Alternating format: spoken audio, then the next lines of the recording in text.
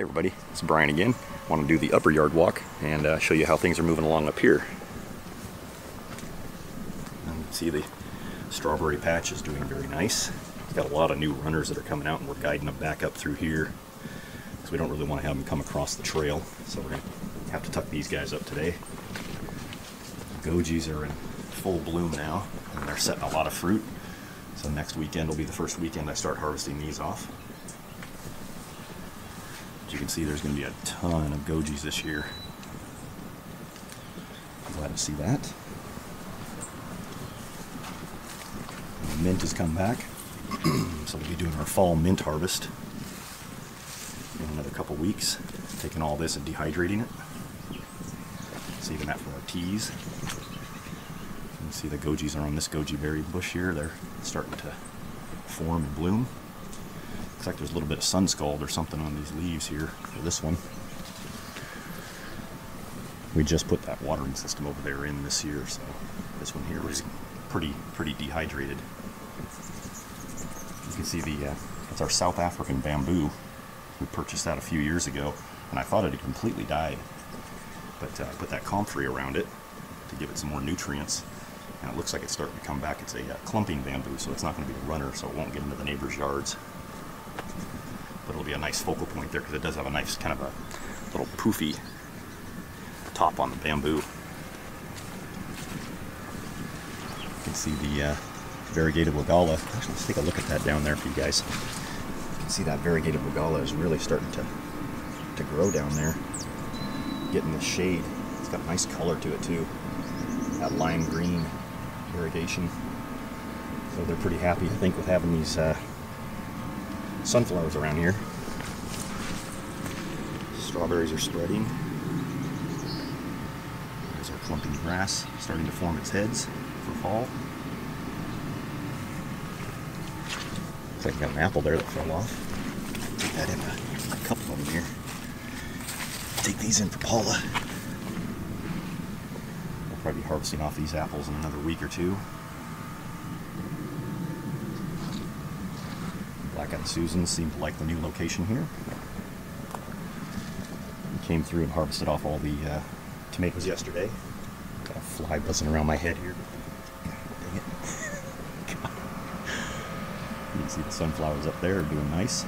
Today we're gonna, one of the things I'm gonna do is I'm gonna thin off all these uh, lower peach tree leaves, or limbs. You know, thin these off because I want to have more of the growth go up into the tupper, top upper canopy so that way I can hopefully fight off the fungal spores that come off the ground you know shoot up and they try to latch onto these lower limbs and then it just spreads throughout the tree. So I'm trying to get a higher growth tree for these peaches. And then of course I'll be doing a, a neem oil spray sometime probably this next week. Let's see over here. See how the uh, little propagated pears are doing. These are the ones I grew from seed. They actually came from uh, seeds from that tree there, so I won't know if they're going to actually be a good tasting pear or if they're just going to be a, a deer feeding type pear for wildlife. But uh, some of these are going to get planted in the yard this fall. They're big enough now to where they can go out and uh, stand on their own. Let's see. Got some peaches still left on this tree.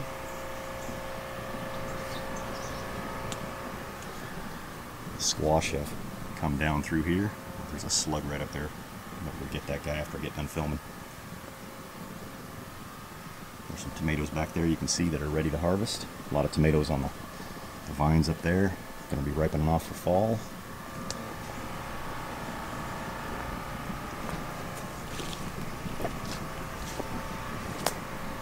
You can see the tomatoes there. Got a couple more uh, pink boar I need to harvest. Scarlet runner beans really starting to flower out. There's some more beans up in there. See there's some beans there. One back there. We've harvested off enough for uh, a meal a week with all the beans, the bush beans we have, and then all these uh, various beans. We haven't had enough for canning yet, but we're getting enough to have a meal for Paula and I. So looks like there's quite a few uh, pink boar on here that I need to go and harvest. And of course, here's the back side of the garden. There's some tomatoes there on there that I need to get today. Everything's just kind of cooking along here. All right. Let's see a shot of the, uh, the Granny Smith down here with its apples. You can see there's quite a few apples on there. I'm happy to see that, and they look like they're really in nice shape. Not a lot of spot or anything on them. This one here looks like it's got some you know, scrapes or scuffs on it, but uh, overall that looks like a pretty, pretty healthy looking bed of apples. All right, well, this has been Brian from P&B Homesteading. Hope you guys enjoyed the yard walk today. All right, talk to you guys again. Bye.